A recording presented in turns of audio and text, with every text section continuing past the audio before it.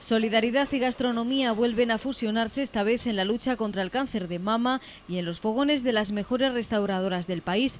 Yolanda y su restaurante Cocinándose en León revalidaron este año su estrella Michelin, lo que le ha abierto las puertas de esta iniciativa.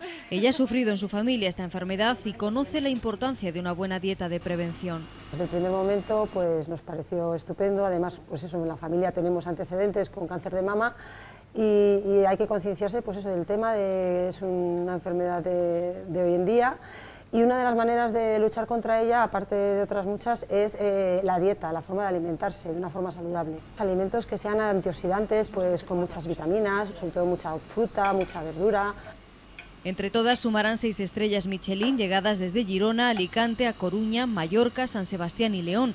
La cita comenzará con un aperitivo para el que la restauradora leonesa ha preparado una fusión de un bollo chino cocido al vapor relleno de cecina y más tarde una cena. Por la noche será una cena para 100 personas, eh, que ya creo que las mesas están ya todas ocupadas, que ha tenido una gran aceptación esta iniciativa y cada cocinera va a hacer un plato. En nuestro caso nos ha tocado hacer la carne y también vamos a llevar un producto eh, que es un lechazo IGP de Castilla y León, lechazo churro. Vamos a llevar la paletilla deshuesada, la hacemos muy lentamente al vacío, luego le damos un golpe en el horno y la acompañamos de un guiso de trigo y mollejitas de cordero. El evento organizado por la Fundación Sandra Ibarra se celebrará el 6 de marzo en el restaurante El Chaflán de Madrid. ¿Y comes eso? Pero no te pienses que pesa, ¿eh? dos.